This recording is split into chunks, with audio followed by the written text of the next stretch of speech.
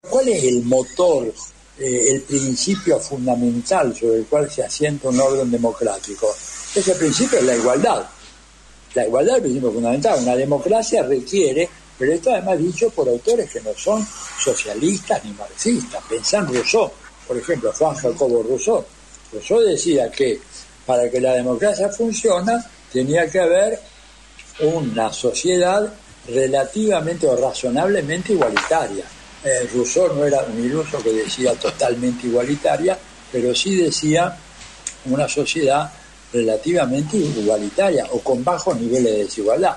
Si uno mira lo que ha pasado con el desarrollo del capitalismo, ¿verdad? en los últimos 200 años, lo que ha habido es una tendencia fenomenal a acrecentar la desigualdad, al punto tal que un pensador no marxista, como Thomas Piketty, el francés, el economista francés, dice que para llegar a este nivel de desigualdad, si nos remontamos históricamente, tenemos que llegar hasta la época de los faraones, porque inclusive ya en la República Romana había un grado de igualdad mayor que lo que tenemos en este momento, en donde cinco mega multimillonarios eh, han acumulado más riqueza que el 60 o el 70% de la población mundial. Sobre esa base, ahora pensar en Estados Unidos, por ejemplo Estados Unidos, que es un país en donde eh, la pobreza se ha transformado en un problema endémico que no pueden bajar de esas cifras, sino más bien todo lo contrario. Bueno, ¿esto qué hace? Bueno, esto eh, erosiona, ¿verdad?, las bases fundamentales del régimen democrático. Entonces, tenemos regímenes democráticos muy débiles, ¿no es cierto?, eh, democracias este, que parecen más bien dictablandas en un cierto sentido, caso de Bukele, ¿no es cierto?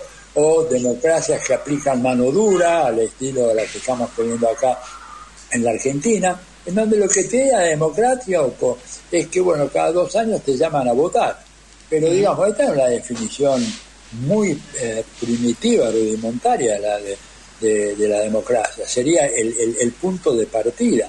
La democracia en realidad tiene primero este carácter de, bueno, electoral, pero después un carácter institucional, un conjunto de reglas, instituciones que garanticen que la voluntad popular se traslade al gobierno. Luego tenemos un tercer nivel que es la democracia social, que quiere decir de que todo lo demás, las instituciones está bien, el voto está bien, pero si, si vos tenés una sociedad fragmentada, donde tenés 60% de pobres, 55% de pobres como la Argentina, y la democracia viene como te voy a citar nada menos a Fernando Enrique eh, Cardoso.